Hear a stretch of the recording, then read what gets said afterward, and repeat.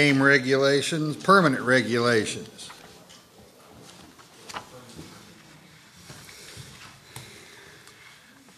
Uh, Thank you. Uh, These are, um, we have uh, five permanent regulations that we typically bring out um, in our August commission meeting. And uh, then we decide whether we're going on further with, with some of these. Uh, I'll go through each, each regulation separately in this group. Uh, 115.4-2 is big game general provisions, and it basically covers uh, items uh, like the information that's included on the carcass tag, uh, our registration system, including our photo registration procedures, and then how to transfer um, meat to another person. Uh, this regulation was um, revised in 2010 and also 2012. And at this time, uh, we've received no comments from the public or from uh, staff members uh, for a need to change this particular regulation. Um, and we, we don't have anything scheduled to bring this back before the, the commission. I'll go on to through all of them, and then we can come back and, and go through each individually. And, um, 4-4, this is um, uh, big game legal equipment and taking methods. It's one of our more complex and often uh, controversial regulations that we deal with with big game. And we have specific, uh, the regulation uh, contains items on uh, specific equipment differences uh, for hunting different species of big game.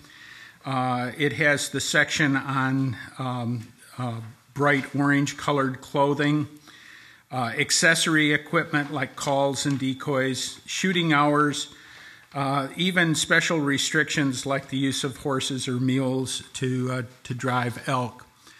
We've had two items that have come up in the past year or even before that, uh, one of them. Uh, and one that's the uh, transmitted arrow. Uh, this is a, a transmitter device that has, uh, is attached to the arrow. Our current regulation says no electronics attached to the, the bow or arrow. And we do have uh, individuals now that are, are building very small transmitters uh, that attach and rapidly detach from arrows. They're designed to help the, the hunter retrieve uh, a wounded, a mortally wounded animal. Uh, the second item is again coming from the public, and it has to do with handguns allowed for big game. Our regulation was written in 1985 and hasn't has basically remained the same since then. And uh, the, the concern is from the public is that uh, equipment has changed, new calibers have come on, different uh, bullet characteristics, and we are now precluding um, uh, handguns that are uh, adequate to hunt big game. We are reviewing these, um, uh, staff is reviewing them. at this time, um, we think that this needs additional um, consideration we, on both of these items. What we are looking for is a, our goal is to develop a comprehensive regulation. We've been attacking this uh, uh, regulation through the years, a piece of equipment at a time. And what we would like to do is to step back uh, look at this particular regulation in a more com- comprehensive manner and come back to the, um, the Commission with uh, recommendations that will be both more comprehensive and simpler, uh, if at all possible. Those are, that's the, the goal. We realize that this is going to be a much more complex task than, than some of our regulations. And so we're uh, looking to uh, bring this back in workshop sessions in October, January, possibly March. And uh, our goal is to have the regulation in place for the uh, 2013 season, but uh, not normally we have these regulations completed by the March Commission meeting. Uh, this particular one we think will require us to um, to go through a, a more involved um, review process. Uh, 115.4-6 that describes the boundaries for the uh, firearm deer management units. Um, and it's been in place for uh, a number of years. Uh, we've, we haven't received any um, comments or um, requests from the public or from staff, and, and we uh, have no proposal to bring this regulation back again this year for review. Um, 115.4-11 is the big game and wild turkey permit applications. Um, and again, this was modified uh, recently, a couple of years ago, and we have um, um, we've received no uh, comments from the public or from within the department, and uh, requests for changes in this one. Um, and so we, at this time, we, we do not have any proposal to bring this regulation back to the commission this for the next year. Uh, 115.4-13 is deer permits, descriptions, and restrictions. And I'll just jump a, ahead here a little bit. Uh, Senate Bill 314 uh, passed this last legislative session, and it says prior to April 30th, 2013, the Secretary shall develop and implement a combination antlered and antlerless deer permit and adopt rules and regulations for the administration thereof. Um, so we have a, a, this one, we basically have a mandate uh, to uh, come out with a combination permit. And uh, this is one that we would need to have uh, completed by March uh, when, our, when, our when we typically complete our, our permanent regulations on big game. Uh, at this time, we are looking at a couple of options for uh, a combination permit.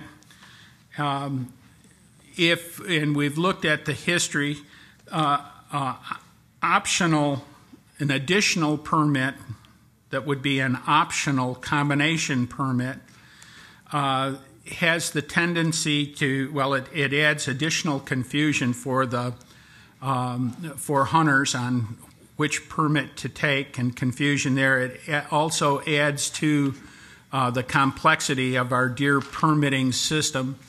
And Karen Beard's in the off, in the audience today.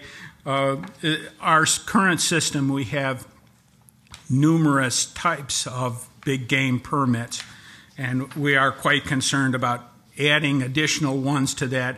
Each time we do that, it, it adds a great deal of complexity to both uh, the permitting and how we explain that to our vendors, as well as how we collect harvest information. Uh, and an alternative to uh, a, um, an optional additional optional combination permit is to replace a current permit that we have with a new permit that is now one perm that permit plus it has two tags associated with it. And that would not add additional complexity to our permitting system, but it would provide additional um, uh, opportunities for people that that uh, obtain that permit. We then looked at um, uh, some of the uh, items that we thought were problem areas within deer management, and one of the items that uh, traditionally comes up in uh, meetings is problems associated with uh, non-residents, non-resident uh, leasing of land, and those areas that are leased receiving inadequate harvest of antlerless deer.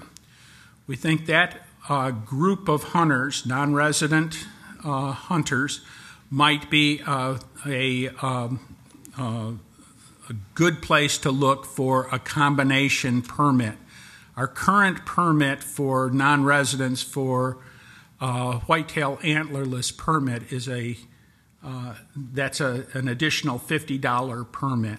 So we're um, we we understand that a lot of the non-residents aren't purchasing that permit because of the the fee associated with it. So that would be um, one of the items, one of the places we think that we could institute a combination permit uh, that would be basically revenue neutral for the department uh, and also put um, antlerless deer harvest in locations on properties where we think we have uh, the, our greatest problem associated with deer population control. Um, those are the five permanent regulations. Um, three of them we are currently uh, not proposing to bring back again to the commission.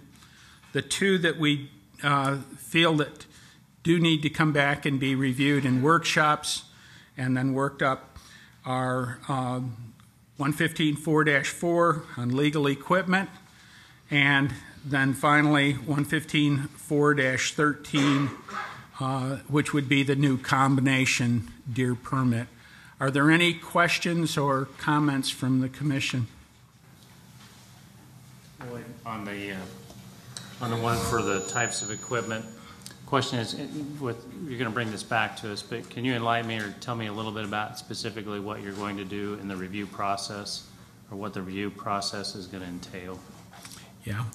Uh, we are. We're looking at a number of, of, things. We're looking at what other states are doing, um, and I, I want to rely quite heavily uh, on on input that I'm going to receive from our law enforcement division uh, as well. Most of this um, on that equipment uh, and the way that is written uh, has to do with the enforcement of, of the regulation.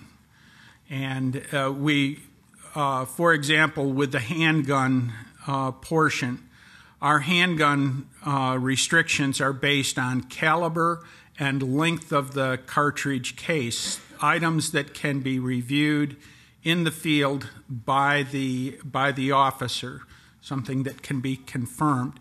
Some of the other states are going with um, regulations that are using foot pounds of energy, which we can't measure in the field. Uh, another alternative that is out there is to uh, be more uh, broad in the way that we write the regulation.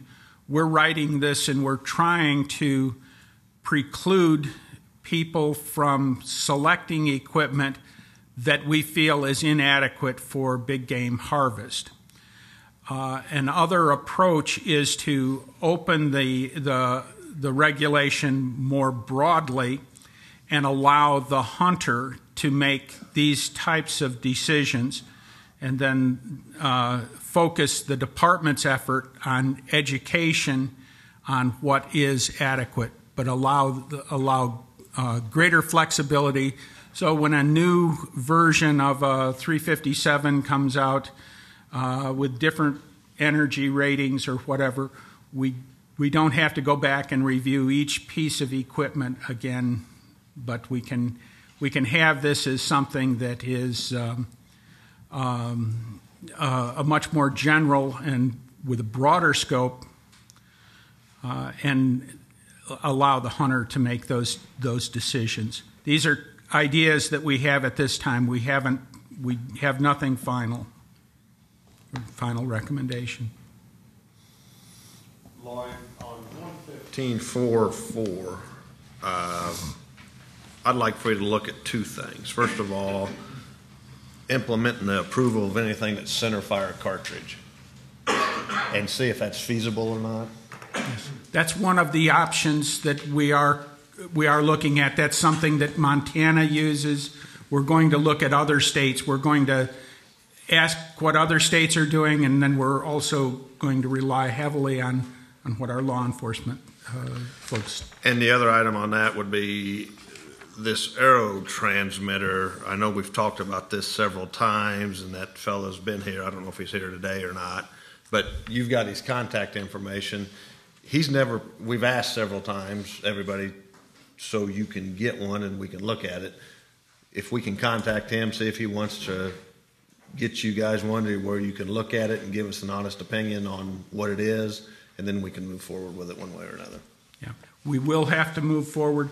He feels that he will have production capabilities with it by January. He was hoping January. That's another reason we're putting this one into a delayed process compared to uh, 4-13, which we're going to move through at a much faster rate and get through in March. Okay, thank you. Are there any other questions for Lloyd from the commission? Any questions from the public? Mike? Lloyd, I've got some questions on the, uh, combo deer permit. You said, and I realize this is very early, but you said it would be a combination for a buck and a doe. Are you looking at one permit that will say antlered deer only? Yes, it would be, it it would be the, basically the same permits that we've got, only we have, right now, we have a, we have a either sex permit and we have a whitetail antlerless only permit. We would now have a permit that had allowed both of those, had a tag for both of them. So it's a permit with two tags associated with it. That somebody could shoot two does with that combo? Yes, because the first permit was a uh, whitetail, or for example, a whitetail either sex permit. What are you looking at as far as, as cost? Is this gonna get passed on to the, to the consumer? Since he's getting technically, he or Well- she's getting two? Where you're asking, we don't have uh, that finalized at all, and that would be something that, that we would have to look at. Ideally, I would like to see this uh, come through as something that's revenue neutral for us, where the department isn't losing uh, money, but also where uh, the public does not feel like they've switched the permit on me just to get more revenue or whatever. This, this is, uh, we've been directed by the legislature to develop a combination permit, and the approach will be to, uh, to do this where we think the, the most important benefit will come from, property-wise, uh, group of people and property-wise. We think that's probably with the non-resident, that group, uh, rather than allow it too broad and have too large of an impact on antlerless deer, or uh, there can be other types of problems. So right this for non-residents? We're looking at it right now. We, we've looked at it in a couple of different places so far. Uh, we've looked at it for non-residents, and we've looked at the number of non-residents. And in the briefing book, we've got some estimates of what we think the harvest would be if that went in. We've also looked at it, for example, make a combo permit as part of the youth permit where you have a youth permit that's a whitetail either sex any season permit uh, make that a combo permit that uh, we looked at that. We, we looked at some other options uh, that we thought were possibilities. First mike what we're, we're, we're trying to do is to make sure that we don't provide a system with uh, additional antlerless permits that uh, will be detrimental to the deer herd. We want to, and second, if we can put that harvest, that additional harvest that we feel this permit might generate in the areas where we feel we're having the, the most problems. And the, the problems uh, seem to be associated around these areas that are being leased by non-residents. So we'll put the, the idea was to put the antlerless permits in those people's hands. So would, uh, first of all, this has to be implemented by the 2013 seasons? Yes, it does. And right now, you're not looking at it for the general resident hunter? Not at this time. Right now, though, uh, we are in a, um, uh, I shouldn't have said that, Mike. We have not brought this back to a workshop session. We do not have a recommendation at this time. These are, But Uh, that- but that's still- a possibility. the possibility is that we will only bring this back for the non-resident Okay. in this That- case. That's all I need. Thank you, Lloyd. Any other questions for Lloyd? Any questions from the commission? Okay, thank you. Thank you.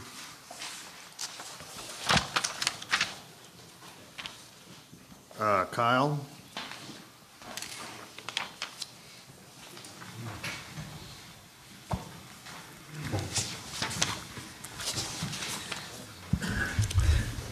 Thank you, Mr. Chairman, members of the commission. I see we're supposed to recess at five, so I'll try to be brief on this.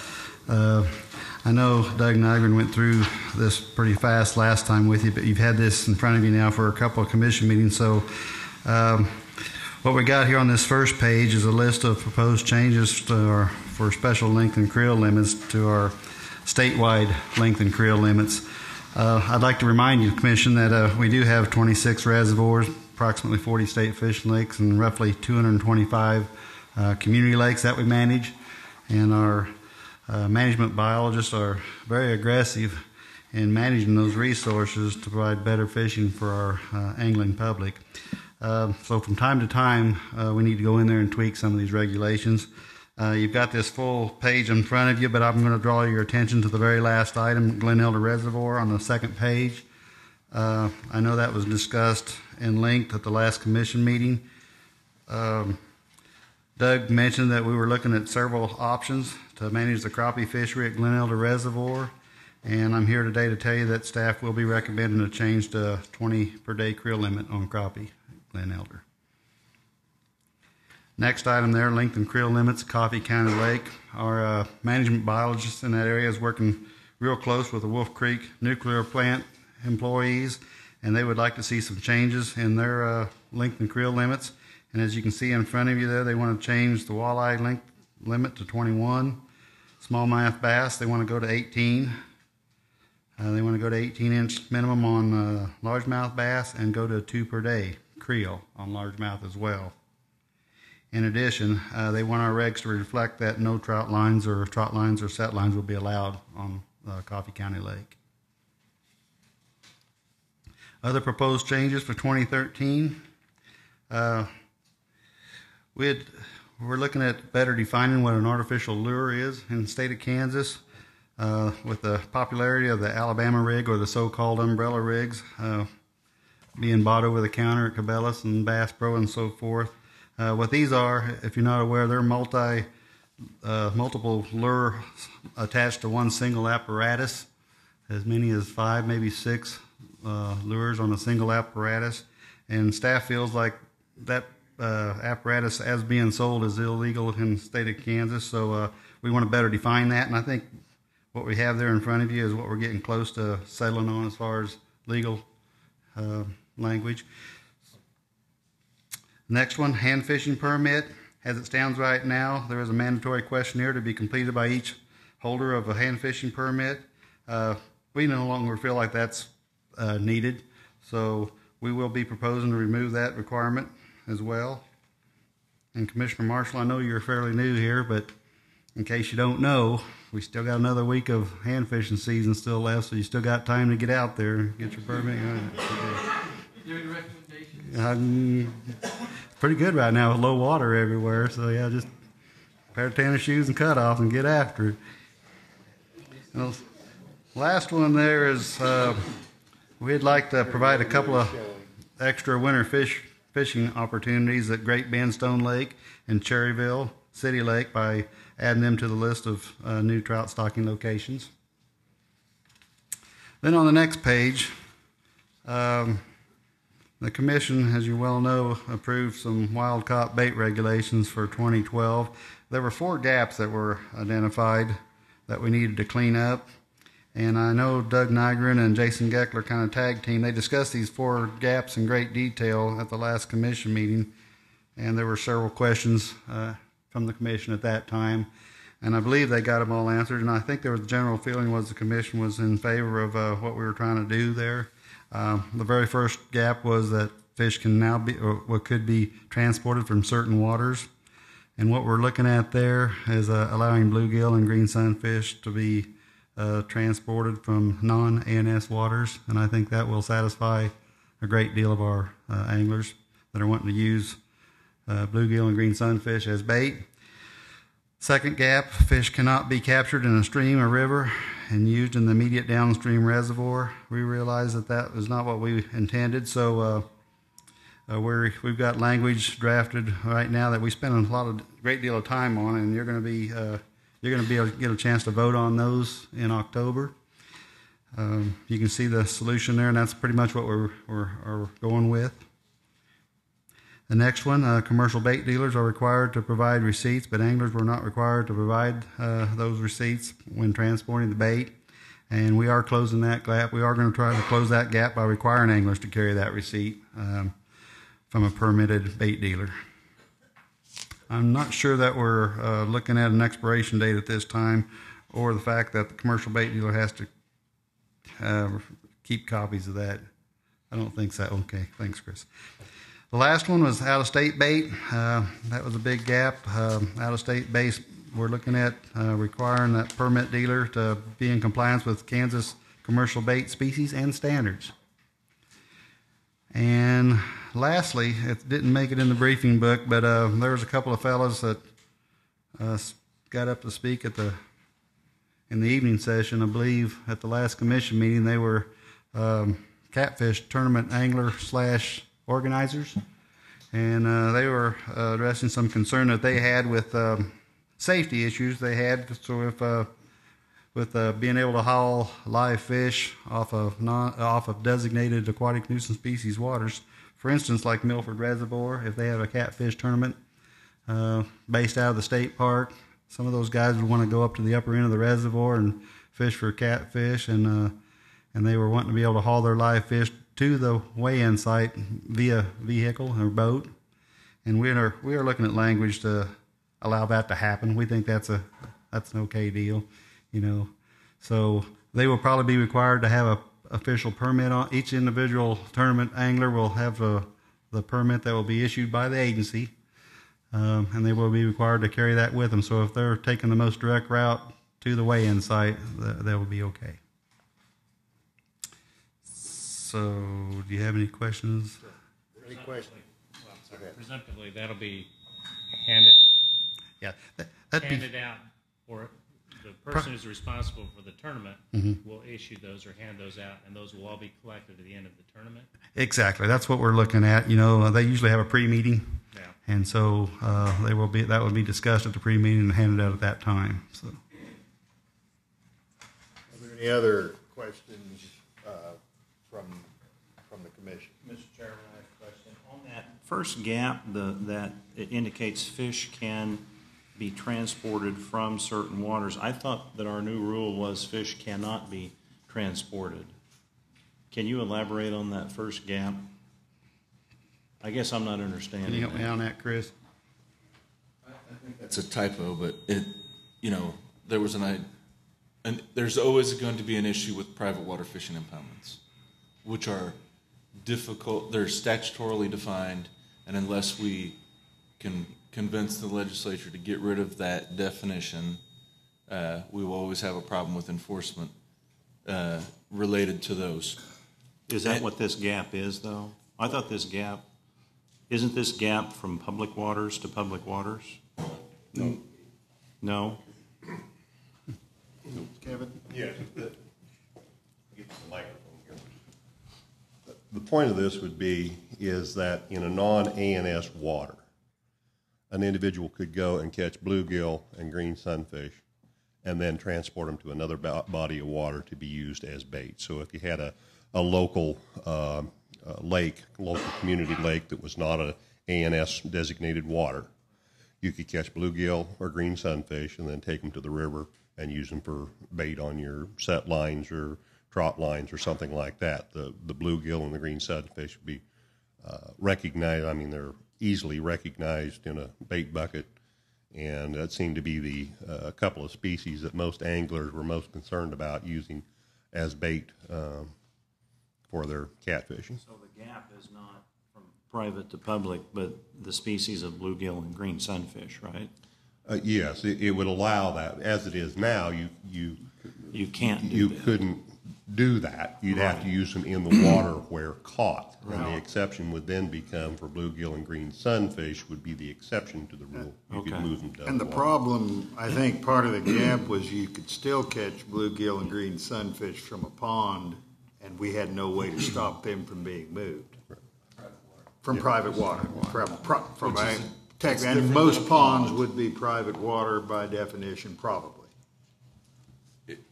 It's a complex definition for private water fishing impoundment. So, uh, this would allow people, it's, we looked at it and said, this is the least amount of risk, but it would be the most beneficial for limb line anglers who were, are currently prohibited. I think it's, I think it's a good, good solution that staff, law enforcement, and biologists can all agree on, I think it makes sense. Okay, thank you. Are there any other questions for Kyle or anybody? Any questions from the public? This will go to vote in October. Yes, that's correct. I guess you're done, Kyle. Thank Well, you. that's- That's good. Thank you.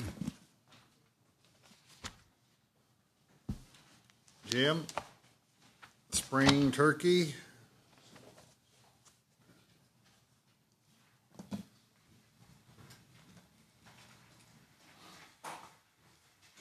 Thank you, Mr. Chairman, members of the commission. I do have three staff recommendations that we're going to be workshopping today, but before I get into presenting those, I wanted to give you a little bit of an update on this past spring turkey season because since the last commission meeting, I've had the chance to, to analyze some of our harvest survey data. This past spring, we, we once again had a, a good turkey season across Kansas. Um, there was some variation across the regions, but overall, our statewide harvest estimate was a little more than 31,000 birds. That falls right in the ballpark, uh, 30 to 35,000, where we've been over the last six or seven years. Our statewide spring hunt success is, was 60% this past spring. Again, uh, that falls in the ballpark uh, with where we've been over the last five years, between 60 and 65 percent. Kind of on the bottom end of that range a little bit, both for harvest and hunt success, uh, and that's due to some some slight reductions in in population in the central part of the state, either due to drought and or or heavy rain, depending on which part of the state you're talking about. But overall, it was a pretty good season. Uh, permit sales again were, were over 60,000, so they're in the same ballpark with where we've been over the last seven or eight years as well. As far as populations are concerned, uh, over the last several years we've been concerned about declines in the, the eastern part of the state. Uh, last year we had quite a bit better reproduction, summer of 2011, than we've had in a while. Uh, numbers were up a little bit this spring, as was hunt success and harvest. Uh, all indications are that, that production in the eastern third of the state was really good this summer. I don't have the final numbers yet, but, but I'm getting reports of, of a lot of poults out there on the ground. So it's looking like things are turning up in the eastern third of the state. Um, the severe drought that we're experiencing in the western half of the state over the last two years has hurt production substantially. It did last year. I don't have the final numbers from this this uh, summer yet, but I expect to see a downturn uh, in the western part of the state. On to staff recommendations. Uh, as I mentioned, we have three. The first is that, that I'm recommending new spring hunt units, and those hunt units are you can see depicted on Figure three in the briefing book materials. And those hunt units correspond to with the units that have already been adopted for this coming fall. And so several of you remember uh, that we've discussed why that recommendation uh, occurred, and, and that is so that we can better align our, our hunt units with our management units, which will allow us to better use our, our data to guide our, our recommendations in the future. So that's the purpose of that recommendation. Uh, the second one is an increase from one to two birds in, in Unit 1, Northwest Kansas, and that will still be Unit 1 even if the new units are, are adopted. And, and that is due to the fact that we still have increasing turkey populations in that part of the state for the most part, uh, and landowner complaints are on the rise. So we feel like we can provide more opportunity uh, in, in northwestern Kansas. And thirdly, uh, we want to recommend, or we are recommending, that the Unit 4 draw permits for southwestern Kansas be valid in adjacent units uh, to increase the opportunity of those folks that draw a permit. With that, I'd, I'd stand for, for questions. Any questions for Jim? Jim, you always make it so easy to understand. I'd give it my best. You do, you really do. I appreciate that. Any questions from the audience?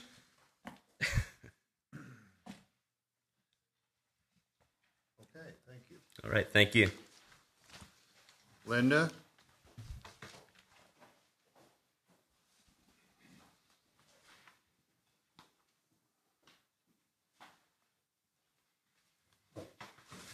Thank you, Mr. Chairman and members of the commission. Uh, This afternoon, I'm going to talk about two topics that uh, will amend our regulation to conform to our new statute passed by the state legislature this past session.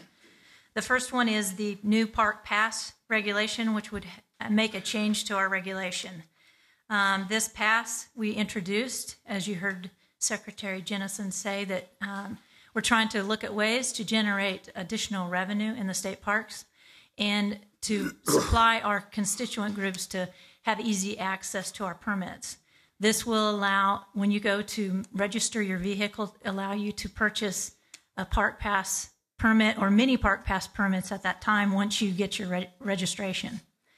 Uh, what this will change is this will add the Easy Pass vehicle permit into our regulation.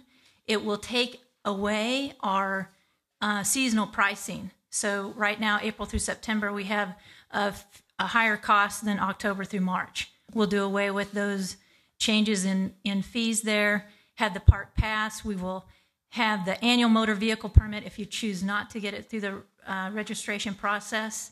That will be a $25 fee at the park office or through the online system that we have. The daily vehicle fee then will go up to $5 at the gate, and seniors will still receive their discount if they purchase them, them through the park office. And uh, as the secretary said earlier, we are we are anticipating some really good sales for this um, with the help of tourism. Are there any questions? Are there any questions from the commission? The public? This will be effective in January? January, uh huh. All right, why don't you go to the next topic? All right, alcohol on KDWPT properties.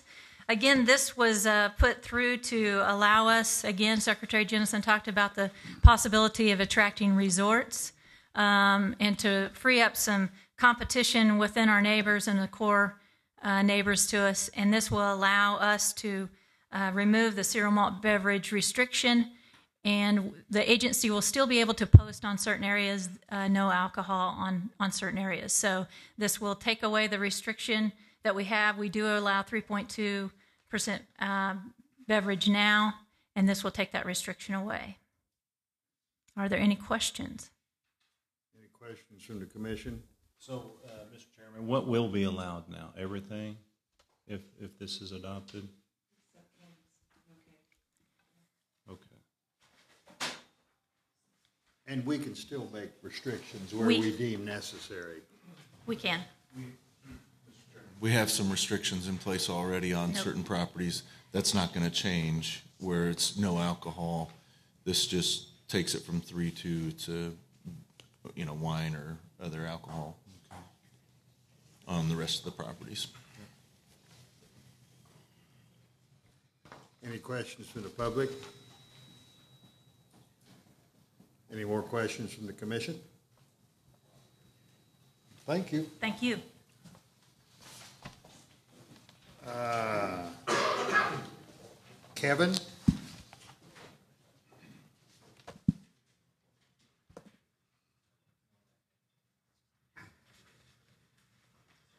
Thank you, Mr. Chairman and members of the commission.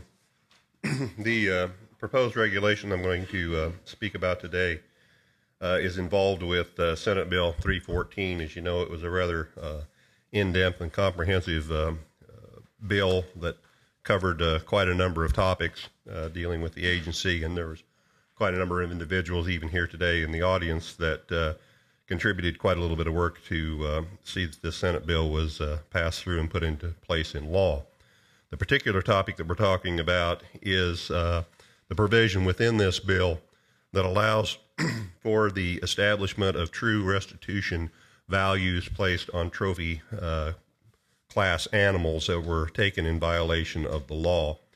Uh, up to this point in time, we had some broad ga- uh, guidelines. We had some values that were placed on uh, wildlife under our uh, uh, law that prohibits commercialization of wildlife, but nothing that really specified restitution values. And this, throughout uh, the years, has been something of of a little bit of a problem of what do you establish as the value of a particular animal.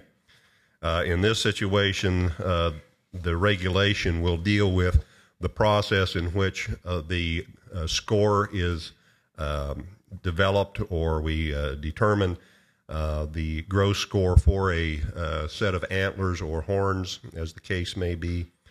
Um, and then, based upon a formula that would take that gross score measurement uh, minus a constant value for that species. For instance, deer uh, is a, um, a constant value of 100 that would be de- deducted from the go- gross score. Elk is 200 and antelope is 40. Um, from the number that's derived from that cal- uh, calculation, it, that number is squared and then times uh, multiplied by two dollars to arrive at the value of that uh, particular uh, animal that has been poached. Uh, in order to uh, come up with the method for developing the gross scoring, uh, we have opted to contact Boone and Crockett. Uh, as you're well aware, I'm sure, the notoriety of the Boone and Crockett Club for scoring animals. It's basically the standard that about everything else is based on when you get to uh, comparing animals for trophy um, uh, considerations. Uh, their process is a copyrighted uh, process. They have given us permission to use their uh, system of measurement uh, in our endeavors and have um, ensured us that they would help us in any way possible to develop the measuring process. Uh, the regulation that will be brought forward uh, details uh, basically that that method of how Boone and Crockett develops a gross score uh, for deer, elk, and antelope. And that would be what we would be basing these measurements on for the calculation of restitution values. I'd stand for questions. I'm just, I'm just looking here. If a, if a whitetail was scored 125, Yes. uh, you would, you would square that. Well, you would take 125 minus 100 would give you 25. All right, that's. Then you would square 25, so 25 times 25 times $2, and that's the value.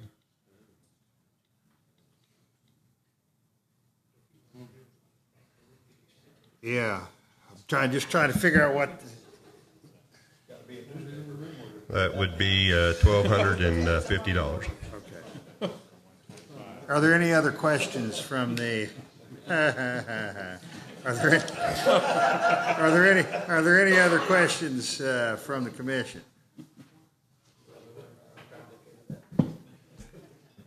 Any questions from the public?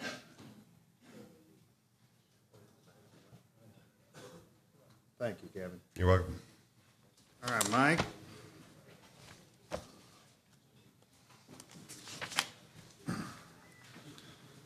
Thank you, Mr. Chairman, members of the commission. I'm going to continue the Senate Bill 314 theme.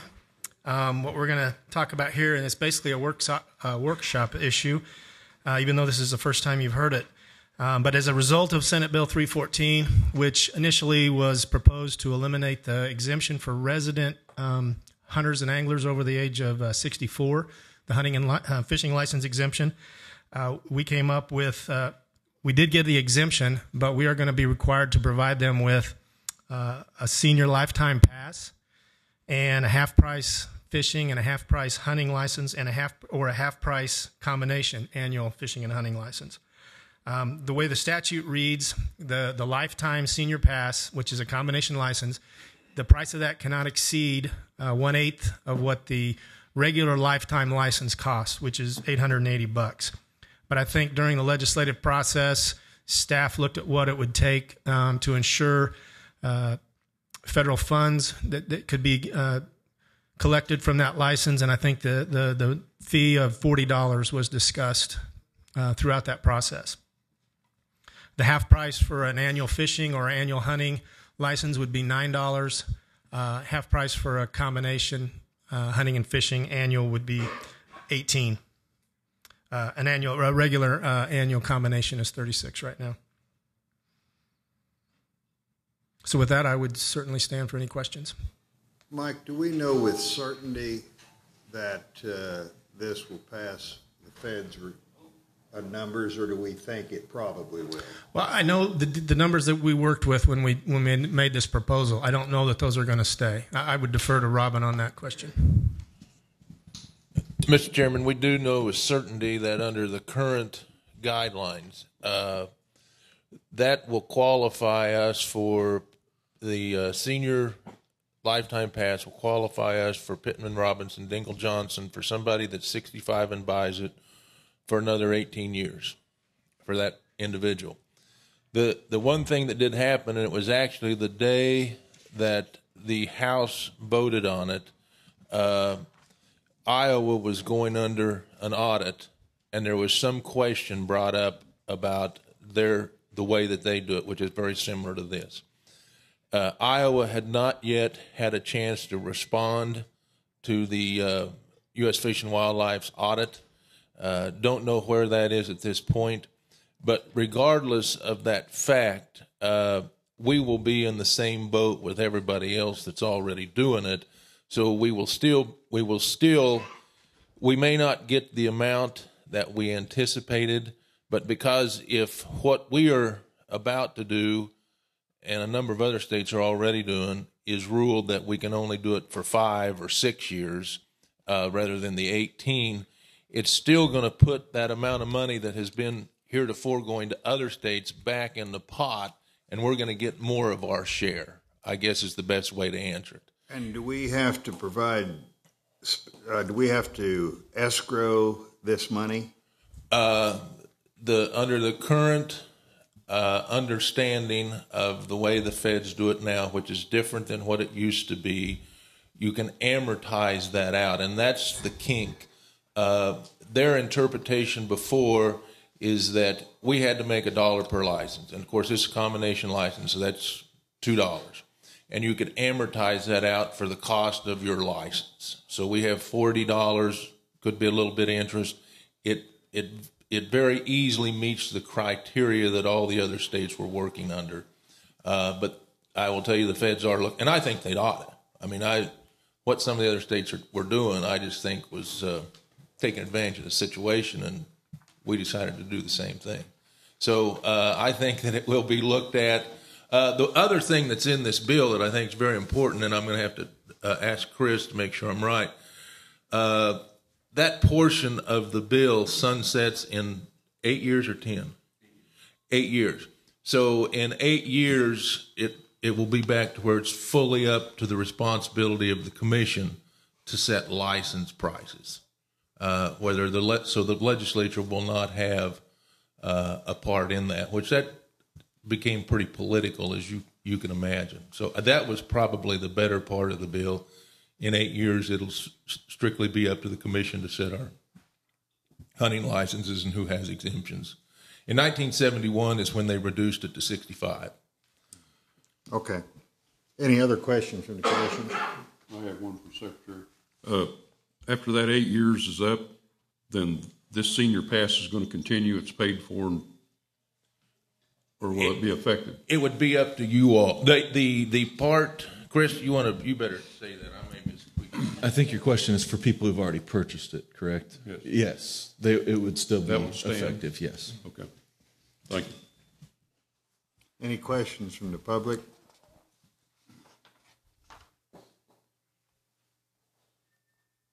All right, thanks. Thank you. Uh, Linda? Agritourism.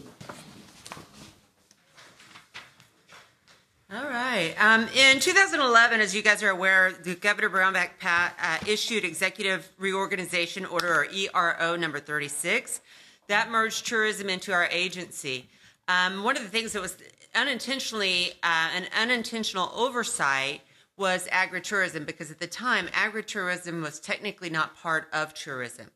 Um, in 2012, then, a cleanup bill was uh, passed that cleaned up everything that might have been omitted, that brought all the statutes together, that, that brought agritourism into our agency, tourism into our agency, and merged the organization. Um, with agritourism, many people didn't realize that, or some people didn't realize that there are a lot of regulations that go along with that, that defines liability, defines the registration process, that defines a lot of different things. And so you guys get to learn more than you probably ever wanted to know about agritourism.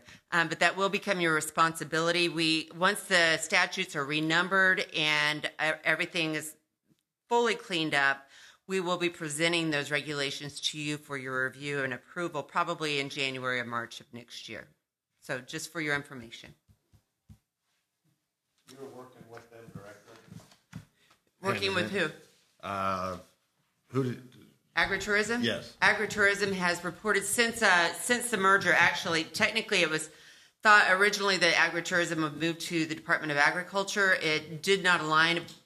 Um, probably in the best sense in that regard. Made more sense for it to come to our organization. So technically, they have been working with our organization and with our team um, since the onset. Regretfully, at this point in time, that position is not filled with the FTE that we had before, so we've assumed that responsibility with the tourism staff that we currently have.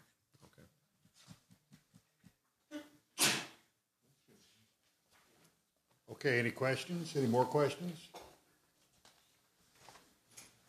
Any questions from the, from the audience? All right, thank you, Linda. Well, no, that's pretty good timing. Uh, I believe it's time to recess. Uh, we will reconvene here at seven o'clock. Uh, thank everyone for, I thank everyone for coming and, uh, hope to see you all back here at seven.